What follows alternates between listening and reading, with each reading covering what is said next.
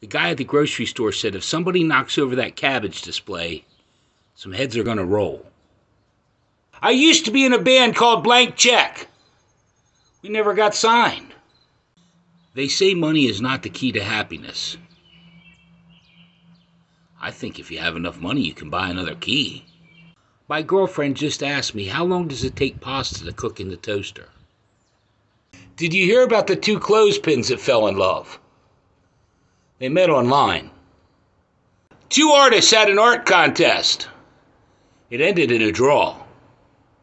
I met a girl and I thought it was love at first sight. Then I took a second look. My buddy told me his favorite type of weed is cocaine. I used to work at a place where they make knives. There's never a dull moment. What's the difference between death and taxes? Taxes, you can get an extension.